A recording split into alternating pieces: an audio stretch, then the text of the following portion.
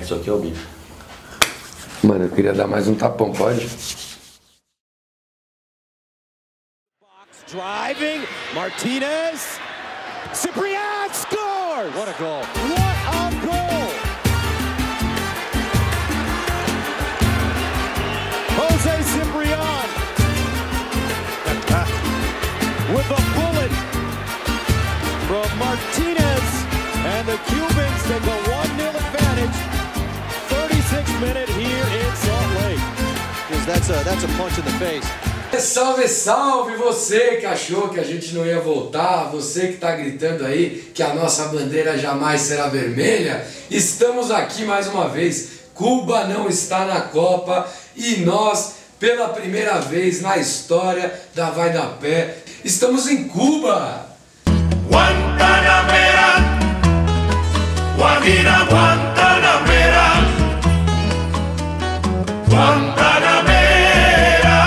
não está na Copa, mas estamos por aqui. Você acompanha com a gente as principais notícias do Mundial da Copa da Rússia 2018 e vamos começar, por que não, com o Brasil, né? Afinal, é o país em que torcemos, não estamos, mas torcemos e que temos aqui atrás o nosso fenômeno também representando. Antes do Cascão. Cascão. Aliás, ele tá sem o símbolo da CBF, o que deixa mais bonito ainda o pôster. Mas vamos falar então de Brasil 0, Brasil 2, Sérvia 0, o jogo aí da última rodada da primeira fase do Brasil, que passou em primeiro do grupo, vai enfrentar o México. E eu queria que você começasse com seus destaques aí, Birajara. Passou em primeiro do grupo, mas jogo truncado. Tava difícil de entrar na defesa da Sérvia. O pessoal ali tava jogando com 10 jogadores no campo de defesa em um determinado momento. Mas conseguimos 2 a 0 jogão de bola, Paulinho golaço. O Paulinho Golaço, esse jogador sensacional, o que, que você achou do Paulinho Golaço hoje? Que ele Você que criticou muito ele na semana passada. Critiquei e mantenho a minha crítica. A grande questão do Paulinho é quando ele encontra buraco. E aí ele encontra buraco e fez o gol de hoje. O Paulinho é isso. O Paulinho não passa bem, o Paulinho não é um exímio marcador, o Paulinho não é um exímio líder. Ele encontra o buraco e faz o gol. Aliás, além de achar o buraco, abriu um belo compasso ali. Acho que a perna dele foi mais de 180 graus aberta. Foi um lance de Tchaikovsky ali. Um lance de bailarina ali, um lance maravilhoso. do Danu ali. Maravilhoso aquilo legal. ali. Paulinho representando o nosso grande boi de calça jeans molhada da seleção brasileira, fazendo o primeiro gol que abriu o caminho para a vitória ali. Depois o Thiago Silva, que a gente tanto falou aqui semana passada, avisou que ele estava melhor, que ele estava com a cabeça no lugar, e hoje ele conseguiu colocar a cabeça no lugar mesmo, né, Santiago? Depois que ele fez o gol, ele, a galera abraçou ele, ele ficou com uma cara séria, circunspecta ali. E ele ficou feliz, eu achei que isso Por foi dentro, importante. né? Por dentro. Ele ficou uma, feliz. uma felicidade que ele, ele remói essa felicidade. É uma felicidade real. Remoído, Serginho. Agora no, no começo do jogo o Marcelo se machucou, aí colocaram o Felipe Luiz. Bom, contusão do Marcelo não tinha como pôr muito outro jogador, senão o nosso Cassião genérico, Felipe Luiz, na lateral esquerda, grande jogador, inclusive entrou muito bem, muito seguro. Uma lesão do Marcelo que provavelmente vai demorar para voltar, porque é a lesão de estiramento, provavelmente. Lombar. Eu que não sou médico. Informações de primeira mão. Informações de primeira Do mão Dr. um- Matheus. do Dr. Matheus. Foi lombar? Lombar. Então, estiramento na lombar. Um jogador ruim que tá jogando muito também, que a gente devia falar, é o Fagnão. Eu não acho ele ruim para começo de conversa. Fagnão. O cara entrou bem pra caramba, entrou no último jogo ali e ele tava roendo o osso ali, né? Tá boladão, o Fagner tá boladão. Sempre boladão, né? Não dá pra esperar outra coisa do Fagner senão a boladice.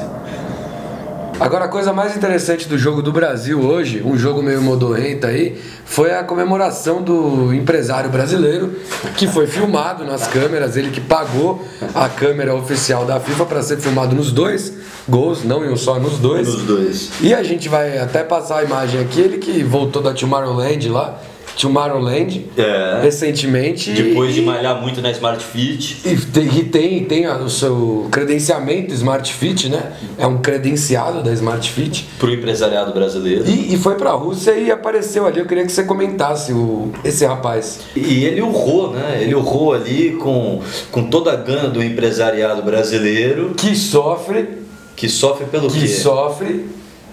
Pô, esse rapaz ele, ele teve mais gana inteira do que o Tite, porque eu não vi o Tite comemorar tanto Não assim. caiu pô. hoje. Não caiu hoje, não arrebentou a cara no chão, a gente Isso é esperava isso. Agora a atuação do William, na opinião de Santiago II. Foi, a- foi uma das piores atuações que eu vi na minha vida. E olha que eu já vi muita coisa ruim no meu time. O que, que você já viu? Olha, eu já vi Jorge Preá, Fiorentin, Max Pardalzinho. Aliás, a- ele joga na posição do Max o Pardalzinho. hoje te lembrou o Max Pardalzinho? Lembrou, lembrou o Max Pardalzinho. É a ineficiência como, como propósito. de- Como propósito. De vida, não só de Mas jogo, é, de Mas vida. é uma proposta de jogo. Vocês acham que o Tite vai, vai morrer com o Tyson na mão ou em algum momento o Tyson vai garantir o Hexa do Brasil? Foda-se. O Coutinho deu um passe bonito. E Hoje o cara é o camisa 10 da seleção que veste a 11, né? Mas camisa 10, Aliás, pô. o Neymar, desculpa te cortar, Bira, mas o Neymar jogou bola na carreira dele com a 11, né? Exatamente, eu acho que inclusive uma troca de números Pode. talvez fizesse melhor do que trocar o Paulinho pelo Fernandinho, que é o que o Tite faz todo jogo. cento. Sugestão, sugestão, sugestão pra CBF agora. Se a gente trocasse o número, de repente, se rolar assim, se, se achar que, que é bacana também, é uma sugestão aqui do Cubano tá na Copa. Trocar o número do Neymar do 10 pro 11 e coloca o Felipe Coutinho de 10. Se você fosse escolher pro seu time, Bira, Coutinho e Neymar, quem que você contrataria? O Neymar. Opinião do Ubirajara aqui no Cuba não tá na Copa. O Neymar tá, tá carecendo de Tá profundidade. carecendo. O Gabriel Jesus que tá jogando mal, tá jogando Mas muito você mais vê, antes, antes era um cara que sorria, era um cara que tava sempre ali fazendo matéria com, com o Thiago Leifert lá no Globo Esporte, tava lá se Propaganda divertindo. na Globo. Agora é o seguinte, só fica fazendo propaganda de Itaú, gravada. O Renato Augusto entrou muito bem, né? Muito bem. correu muito, É, fez alguns passes muito interessantes. sempre vale ressaltar que ele joga na China. Joga na China. O Brasil é o país que mais tem jogos em horário de trabalho durante essa Copa do Mundo. Pense sobre isso. É, esquecemos de falar aí sobre o médico da seleção, grande filha da puta. O Tite como treinador ou os jogadores como jogadores? Os jogadores como jogadores. e o Tite, como treinador, é um bom. É um bom meritocrata, né? É um bom meritocrata, porque ele tá, pelo amor de Deus, ele deve estar colocando os caras no treino pra correr atrás de galinha, meu velho. Os caras tão toda hora machucando, não é possível, velho. Que nem aquela cena do Rock Balboa treinando, correndo atrás de galinha no treino, sabe? Eu quero que tente. Quero que tente pegar esta pequena galinha. Por que tem que pegar essa galinha? É embaraçoso. Primeiro, porque eu mandei. E segundo, porque era pegando galinha que nós treinávamos antigamente. Pega, pega! Pega! O que é com você? Pega! Pega! Pega! Qual é o problema? Você é tão rápido. Aí, Galvão, aí, Galvão, eu acho que o Brasil tá jogando meio mal. Galvão, ô Galvão, eu só sei que. que eu acho que o Brasil tá. tá eu não sei, né, meu? Ele, o, o Brasil ataca pela direita e eu não sei, né, cara? E a Alemanha se fudeu, é isso mesmo. O Neuer deu de Neuer e a Alemanha perdeu de 2 a 0 pra Coreia, Bira. Achei interessante que o Neuer jogou que nem um meio armador ali, velho. Que achou que era o camisa 10, mas na real é o 1. Ele Ou parecia um seja, ganso, né? Perdendo umas bolas ali na frente. O que eu acho mais engraçado é que quando ele perde a bola, ele fica que nem um bananão murcho tentando, ali. tentando se, se infiltrar em alguma situação ali, não dá nada pra E ele. o cara, o cara da Coreia do Sul espeta que ia dar uma bicuda pra frente. É, o Felipão tá numa euforia profunda ali, né? A alegria das pernas do Bernard subiu na cabeça do Felipão. Ele deve estar num porre aí que daqui duas semanas a gente encontra ele no hospital. ali. Você que é um cara que, É, narrando. que, que, que, que narra o VAR, que sabe narrar o VAR, tem essa capacidade né, linguística. E eu queria que você falasse aí desse lance que, que o cara chamou o VAR e não deu em nada. Eu nunca vi isso na minha vida. Porra, ficou três minutos parado o lance pra simplesmente todos os coreanos se, se concentrarem naquela bola do meio de campo e começarem a levantar os Mas um braços. momento histórico, né, Biga? Mano. O primeiro gol comemorado do meio de Do campo. meio de campo, isso nunca aconteceu, velho. Que isso, O VAR velho. revolucionando Acabou o futebol. futebol. Fazendo o futebol ter gols comemorados do meio de campo. É, mais um recorde pro Guinness. A Alemanha que joga de verde para ficar sem o Mundial sempre. Sempre. O Blatter discorda. A Alemanha, toda vez que joga de verde, fica sem o Mundial. O Blatter discorda. Qualquer equipe que jogue de verde ficará sem o Mundial. Argentina e Nigéria, a Argentina passou aí no final das contas, na bacia das almas. É rojo. É por isso que a gente diz que o comunismo é a solução para os países. É rojo.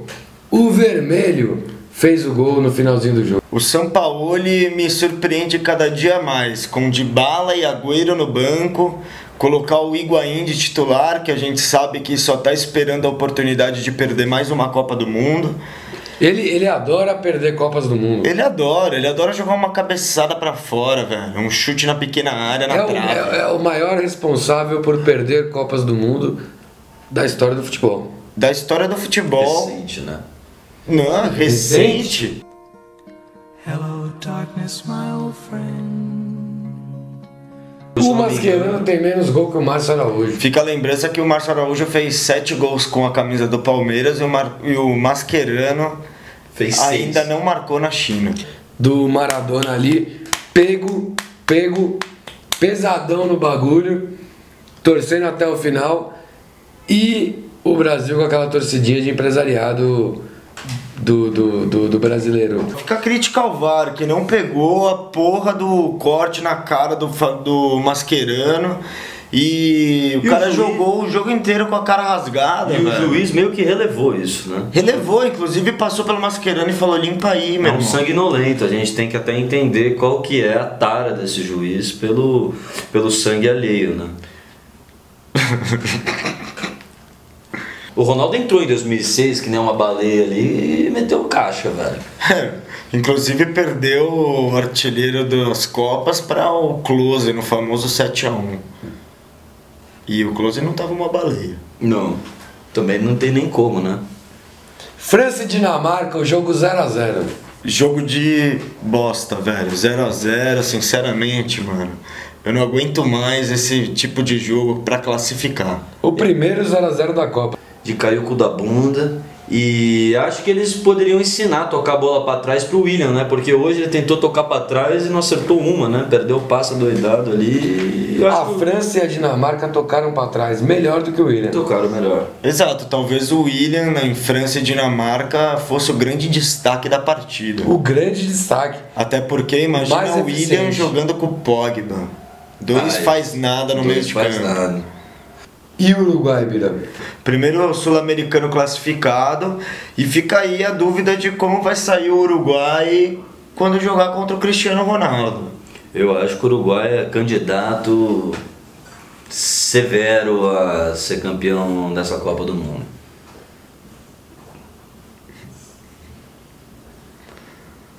Crítica leve, é o momento crítica leve aqui no Cuba não tá na Copa. Bira, a sua crítica leve. O Mané não é tão Mané assim, velho. Santiago, a sua crítica leve. Tite ao contrário e Tite. Yes, é isso aí, mais um Cuba não está na Copa. A gente está aqui falando da Copa do Mundo. Eu queria agradecer demais ao Partido Comunista Cubano que propiciou a nossa viagem até aqui em Havana. Nós que estamos no nosso cenário outdoor. Daqui a pouco estamos de volta no Brasil para fazer mais um Cuba não está na Copa. Fique ligado, se inscreva no canal para acompanhar os próximos episódios. Yes!